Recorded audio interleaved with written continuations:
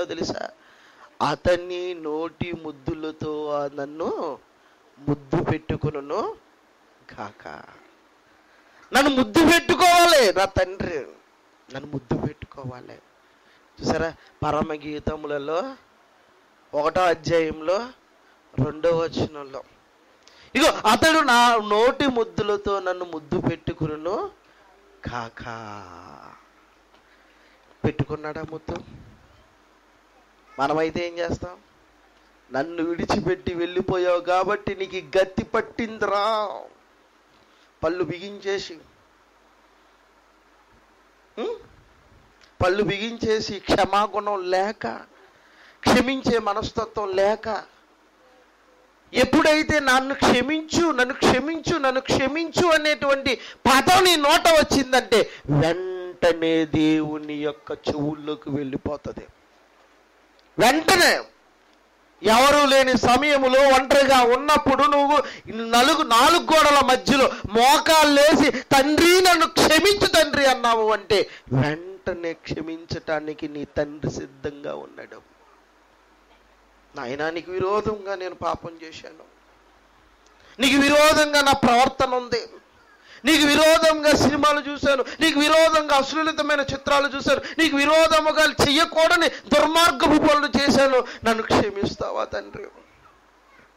నన్ను క్షమిస్తావా? నువ్వు ఇంకా నువ్వు ప్రేమిస్తావా నన్ను అంటే దేవుడు ఏమంటాడో తెలుసా? దేవుడు ఏమంటాడో తెలుసా? దేవుని ప్రేమ ఎలా ఉంటుందో తెలుసా? దీర్ఘకాలము సహిస్తూనే ఉంటది. నీ తల్లిదండ్రులైనా క్షమించరేమో. నీ తల్లిదండ్రులు క్షమించరేమో. ఇదిగో నా మాట కాదని నీ ఇష్టం వచ్చినట్లుగా ప్రేమించి పెళ్ళి చేసుకున్నావు కదా దుర్మార్గురాల అని బయటికి నీ తల్లిదండ్రులైనా గెంటేస్తారేమో కానీ ఒక్కసారి నీ తండ్రి అయినటువంటి దేవుని పాదాల మీద పడితే క్షమించే దేవుడు నా దేవుడు. చూడు. క్షమించే దేవుడు మా దేవుడు ప్రియమైన దేవుని పిల్లలారా క్షమాగుణాన్ని కలిగిన వాడు దేవుడు. ఏమంటాడు అక్కడ? బుద్ధి వచ్చినప్పుడు బుద్ధి వచ్చిన అన్ని కోల్పోయిన తర్వాత బుద్ధి వచ్చిందంట. సమస్తాన్ని కోల్పోయిన తర్వాత బుద్ధి వచ్చిందంట. శరీరంలో ఉన్నటువంటి ఆరోగ్యం అంతా కోల్పోయిన తర్వాత బుద్ధి వచ్చిందంట. ఒకప్పుడు లోకాన్ని చూసాం. లోకం నాదన్నావు. లోకంలో సమస్తము నాదన్నావు. ఆడావు పాడావు తెందనాలు ఆడావు తిరిగావు. ఇంకా నాదే లోకం అనుకున్నావు. ఆకాశమే హద్దు అనుకున్నావు. ఆకాశం అంత గలదామనుకున్నాము కానీ ఎగరలేక నేలన బోర్ల పడ్డావు.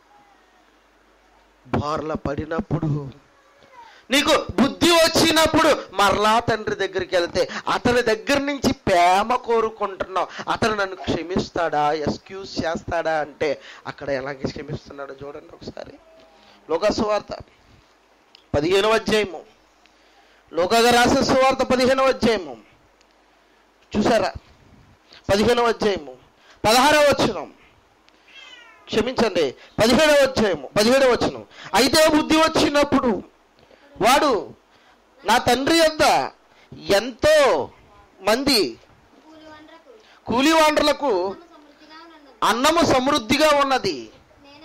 నేనైతే ఇక్కడ ఆకలితో చచ్చిపోవచ్చున్నాను నేను లేచి నా తండ్రి వద్దకు వెళ్ళి తండ్రి నేను పరలోకములకు విరోధముగా నీ ఎదుట పాపం చేశాను తండ్రి.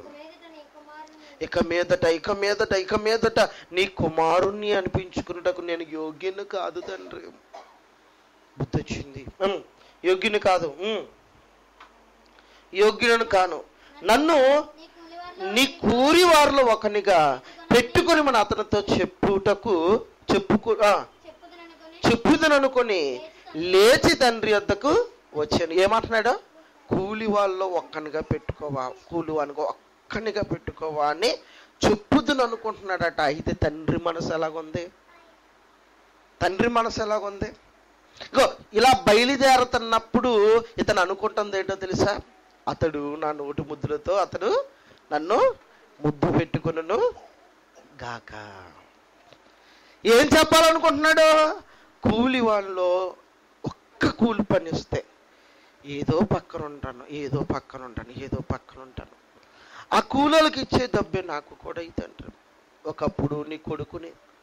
అంగరంగ వైభవంగా నీ దగ్గర ఏ లోటు లేకుండా ఇది తక్కువైపోయింది తండ్రి అని నా చేత అననీయకుండా నాకు సమస్తాన్ని చూసిన నా తండ్రి.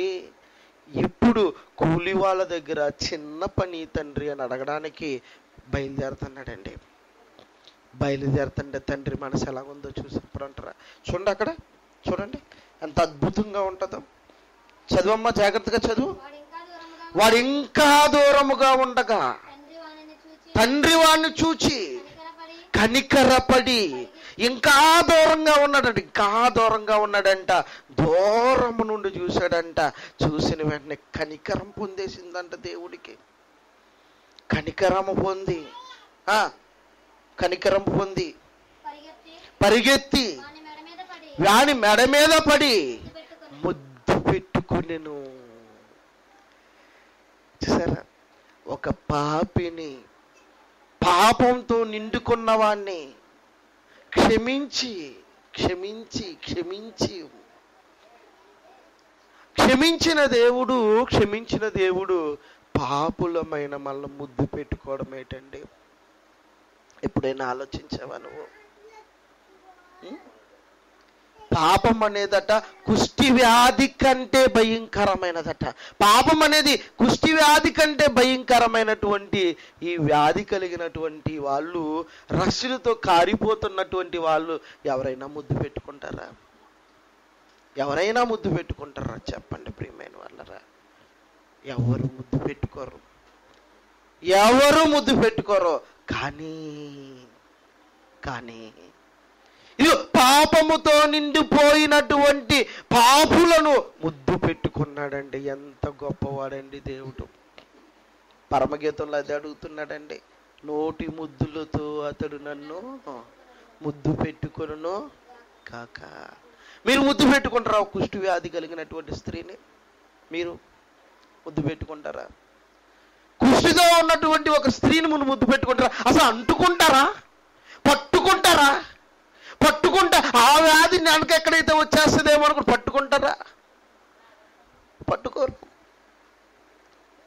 విదేశాల్లో ఉన్న ఒక స్త్రీ ఒక చిన్న కుమార్తె తన యవ్వన ప్రారంభంలో క్రీస్తుని అంగీకరించినటువంటి ఆమె తన యవ్వన కాలంలో క్రీస్తుని అంగీకరించిన తర్వాత మన దేశానికి వచ్చి మన దేశంలో ఒక సంస్థను ప్రారంభించింది. ప్రారంభించిన తర్వాత ఆమె ఒక నర్స్. ప్రారంభించిన తర్వాత కుష్టి వ్యాధుల మధ్యలో ఉన్నప్పుడు కుష్టి వ్యాధుల మధ్యలో ఉన్నప్పుడు వీళ్ళకి అంతమాటు సేవ చేసి చేసి చేసి చేసి చేయడం వలన ఈ కుష్టి వ్యాధులకు ఉన్నటువంటి ఆ రోగం ఈమెకు కూడా అంటుకుపోయింది.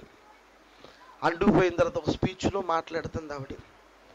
ఒక స్పీచ్లో మాట్లాడుతూ అంటుంది ఐఎమ్ ఆల్సో నేను కూడా కుష్టి వ్యాధి కలిగినటువంటి స్త్రీని అంటే అందరూ ఆశ్చర్యపోయారు. నువ్వేంటమ్మా కుష్టి వ్యాధి కలిగినటువంటి స్త్రీ అంటున్నావేటమ్మా అంటే లేదు లేదు మీతో పాటు నేను ఉండడం వలన నాకు కుష్టి వ్యాధి వచ్చేసింది అనేసి ఆమె అక్కడతో ఆగిపోయి తన దేశానికి వెళ్ళిపోలేదు. ఆమె ఏం చేసిందో తెలుసా? వాళ్ళ మధ్యలోనే ఉండిపోయింది. మనమైతే ఏం చేస్తాం? మనమైతే ఏం చేస్తాం? ఏమంటే ఈ రోజు స్వస్థత వరాలు ఉన్నటువంటి గొప్ప గొప్ప ఉపసేవకులు ఉన్నారు. చైనా దేశాన్ని పంపించండి ఇప్పుడు. ఒక్కడ వెళ్ళడం ఒక్కడ వెళ్తాడా? నూనె డబ్బాలు అమ్ముకుంటున్నాడు కదా రాజమండ్రిలో. అమ్ముకుంటున్నాడా? జయశ్రీ డాగిస్ని మొత్తం లాగేసాడు లాగేసి నూనె డబ్బాలు అమ్ముకుంటున్నాడు అక్కడ. పప్పు సెట్టి ఏదో సెట్టి. అలాగే ఉంటాడు సేమ్ వేస్తాం కదా? ఆయన వెళ్ళమనండి చైనా దేశానికి? వరాలు ఉన్నాయి కదా భక్త. వరాలు ఉన్నా నేను వెళ్ళ భక్త. ఎందుకు భక్త? నా దగ్గర వరాలు లేవు నాకు తెలిసి తెలియదు ప్రభు ఎక్కడున్న అమాయకులు తప్ప. చూసారా ప్రియమైన దేవుని పిల్లలారా ఆలోచించండి. ఎవరు పెట్టుకున్నారండి ముద్దు? అదో అతను నోటి ముద్దులతో నన్ను ముద్దు పెట్టుకును కాక. తెలుసా? ముద్దు పెట్టుకును కాక ముద్దు పెట్టును కాక ఏది కోరుకుంటున్నారు ఇప్పుడు? కుష్టి వ్యాధి కంటే భయంకరమైన వ్యాధి కుష్టి కంటే భయంకరమైన వ్యాధి కుష్టి కంటే భయంకరమైనది ఏంటో తెలుసా? పాపం. పాపాత్ముడైన వాణ్ణి పాపంతో నిండిపోయిన వాణ్ణి ఎప్పుడైతే ప్రత్యుత్తాపడ్డాడో తండ్రి పాపు పరలోకానికి విరోధంగా నేను పాపం చేశాను తండ్రిని ఎప్పుడైతే తన మనసంతా కొమ్మరించాడో వాడి దగ్గరికి దూరము నుండి చూశాడు. దూరము నుండి చూశాడు. తండ్రిని తండ్రి పసిగట్టేశాడు. నా బిడ్డ వస్తున్నాడు నా కొడుకు వస్తున్నాడు నా కొడుకు వస్తున్నాడు. వచ్చే నా కొడుకు ఎవరో తెలుసా? లోకాన్ని అసహించుకుని వస్తున్నాడు. లోకాన్ని తృణీకరించి వస్తున్నాడు. లోకాన్ని వెలివేసి వస్తున్నాడు. పరలోకమే ముఖ్యం అనుకుని వస్తున్నాడు. తెలుసా? లోకాన్ని వెలివేసిన వ్యక్తి వస్తున్నాడని అతడు ఏం చేస్తున్నాడు? ముద్దు పెట్టుకుంటున్నాడు. చూసారా క్షమాపణకి సూచన ముద్దు.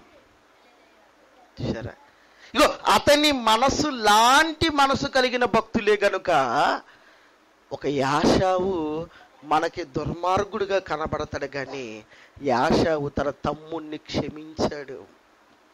చూడండి ఆ మాట